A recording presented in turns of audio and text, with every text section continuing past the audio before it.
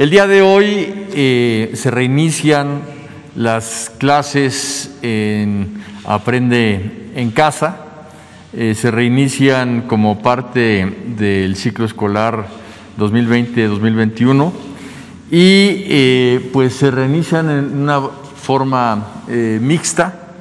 en algunas escuelas ya empieza a abrirse la posibilidad presencial y en, otras seguirá a distancia.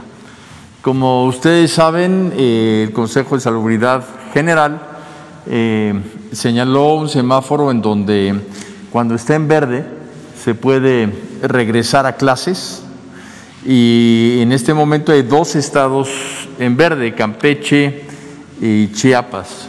Y cuando está en amarillo se pueden abrir centros de aprendizaje eh, comunitario eh, y también eh, continuar el aprendizaje en casa.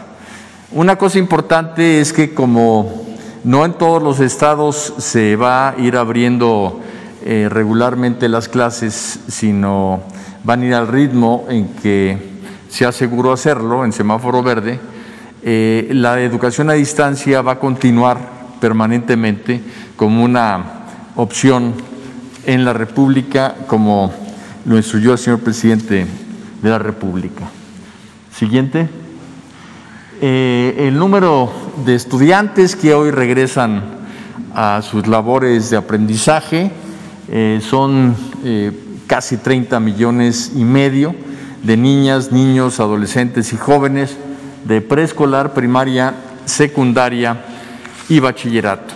Es una cantidad eh, muy importante.